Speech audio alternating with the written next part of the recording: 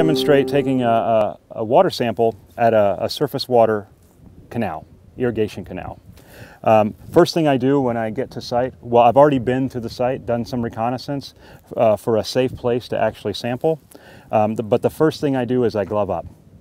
I've already, I've got my bottle that I'm going to use. I've already marked my field sheet with the location, uh, site identifiers, and various things. Uh, the bottle is a uh, is a, a, sterilized bottle. Your labs will give you one or you'll have one that you can sterilize yourself, um, however that occurs. Um, the label is important because it identifies the sample all the way through the chain from you to the lab. Um, the first thing I do is, well, in these type of canal situations, you don't want, want to necessarily lean into the canal because you might end up in the canal. So to safely take a sample in this canal, I use a, a sample um, a sample grabber, what we call it, or a, a sampling pole. I fix the bottle to the pole. Now I know it's on there because I got a little dent there. It's not going to move. It's not going to move because of the swift moving water. I'll uh, take the cap off and secure it. You don't want to cross contaminate the cap because if you put it on there, it goes right into your sample. So if there's dirt in the canal, dirt where you laid this cap, you want to just keep it with you. It's best rule of thumb and keep it secure and upright.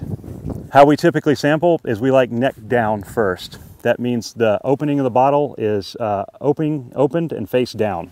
That's to keep all the surface debris you can see floating by out of your sample. So you'll, you'll hit as to the middle of the canal or as far as you can reach into the canal. You'll take the sample and in an arc, an arc motion, you take the sample, run through, fill it up. Now you'll want to, that's a little full for us, so we'll take out a little bit of water. For headspace, the lab needs it to homogenize a sample, that's to shake it up and to, to make things much better. So that's good headspace there for your lab, right to the, to the, uh, to the shoulder of the bottle. Make sure you secure the cap tightly. Take it off, not over the canal. Take it off and put it in your cooler. Now it should go upright in your cooler like this with ice around the sample and uh, so that it won't fall over. You don't want to fall in over sample when you get to the lab because ice melts in a cooler and it could get into the cap.